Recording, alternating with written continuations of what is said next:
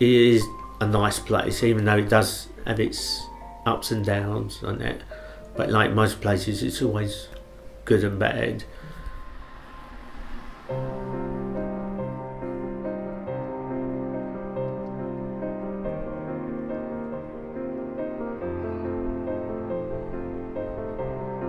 There was a, a group called Call Dads.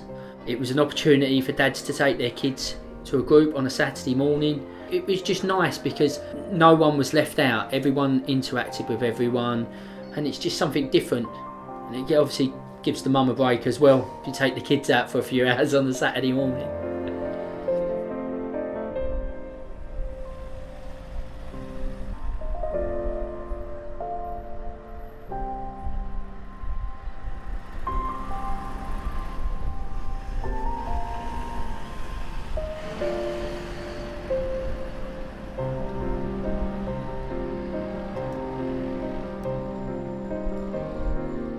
When I come over here, where we used to live, we used to sort of know each other, and it used to be like the old days where you can leave your door open, and if I used to go make a cup of tea, the kids would say, "Oh, can I come and play with play with it?" And just say, "Yeah, you should leave the door." It was all right, but nowadays you sort of can't do that anymore. Everybody's sort of too scared, and everybody like keeps themselves to themselves on that.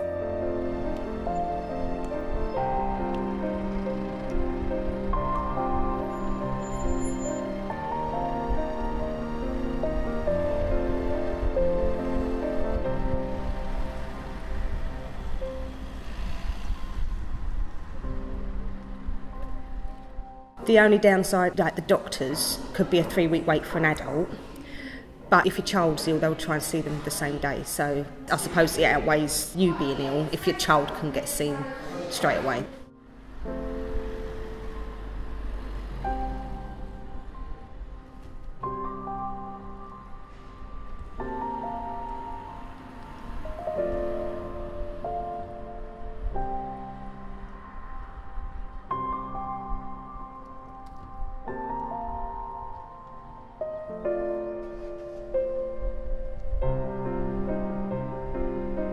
Both kids love going to the library where you've got the self-serve machine. I think that's a, a great independence thing for children.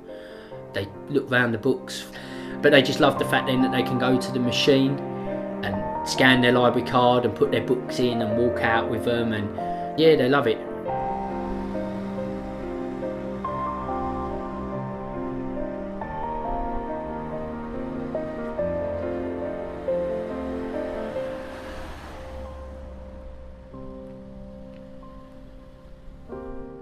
I don't think that there's any more challenges bringing up children on Vange than it would be to bring them up in, I don't know, Romford or somewhere like that. I think it is literally how you bring your own children up.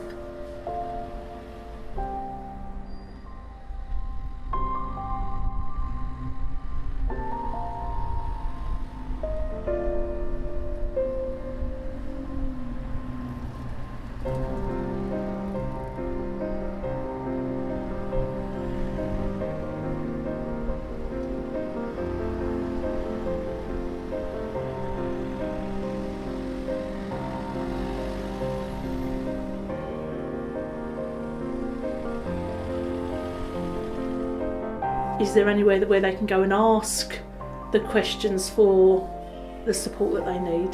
You know, is, is there one point of contact that they can approach at the council or the doctors even if they need extra support?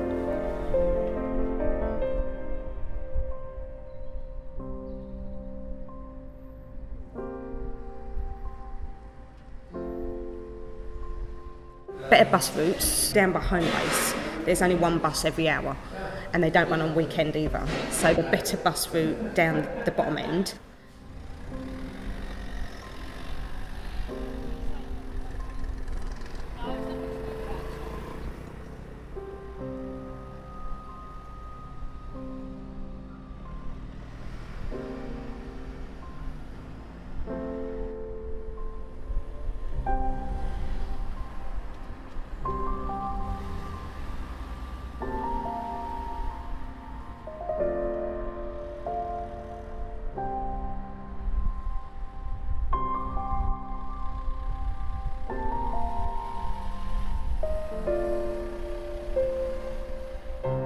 do feel that there may be a better police presence in the area. When I lived on Noak Bridge, Notebridge had its own special police officers that just they just walked around and they'd walk around every day. There'd be someone that would walk around the estate once or twice a day. And I just think if there was a bit more of that around the area, it would just make life a bit easier.